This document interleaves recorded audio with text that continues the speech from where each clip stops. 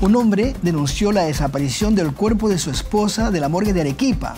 El caso fue alertado por José Luis Huanca García, esposo de la víctima, quien, al retirar el cadáver, se dio con la sorpresa de que se trataba del cuerpo sin vida de un varón.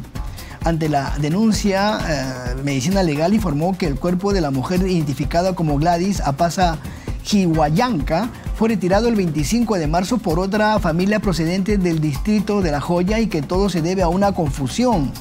El cadáver de Gladys Apaza y su hija ingresaron a la morgue el pasado 15 de marzo tras sufrir un accidente en el sector de Majes, ubicado en la provincia de Cayoma.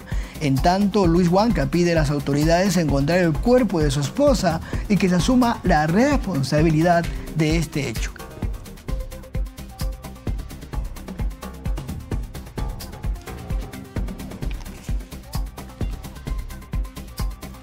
Dos torres de alta tensión fueron derrumbadas con dinamita